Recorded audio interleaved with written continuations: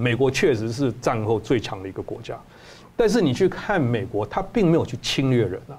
那有些人马上就提出反驳，说：“你看他侵略阿富汗，没有啊，他没有侵略阿富汗，他把阿富汗政权打下来，然后他希望阿富汗能够建立自己一个民主的国家，可是他就是扶不起来嘛。他在那边耗了多少的人力物力，他最后只好选择走，那走了就变成那个样子。那有人说越战一样的情况嘛。”整个越战不是美国人惹出来的，是法国人惹出来的。那美国人只是去收拾善后，但是收拾善后又不讨好，因为他希望说越南人要治理越南，可越南就是不愿意自己站起来嘛。所以当美国走掉，一下就垮掉。那就讲哦，他去打伊拉克，把海山推倒。我觉得这是好事情啊，它是一场战争没有错。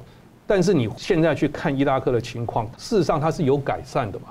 包括他境内的库德族，他给他成立一个自治区，阿拉伯人跟库德人之间，他至少协调出了一个能够共治的一个方案。我现在简单提一个，一直让我很感动的一个战役，就是二零一四年的一场战争。科巴尼，科巴尼是在叙利亚的一个靠土耳其边境的一个小国。那时候伊斯兰国兴起了嘛，因为叙利亚之间的内战，所以等于是兵败如山倒。那时候我在美国，每天电视上就是在播科巴尼的战士。所有的华盛顿高层都认为那是一个不值得守的地方，必须要放弃，因为已经全部被包围了，是绝对守不下来。但是哥巴尼里面的库德族人，他就是不放弃。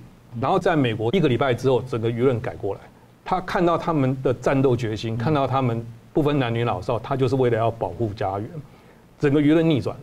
我们不要忘记，美国是一个民主国家。当你民众站在你这一边的时候，美国政府就会站在你这一边，就是这么简单。那我们的决心是什么？马生来提了三点钟，有一点我要强调，他说我们必须得到人民使用武力的认可，这是一个民主国家非常重要的一点。当我们的人民表现出我们并不想去打这场战的时候，美国就是会迟疑，他们不会去 support 一个不愿意自己打仗的国家，这是民主国家不会去做的一件事情。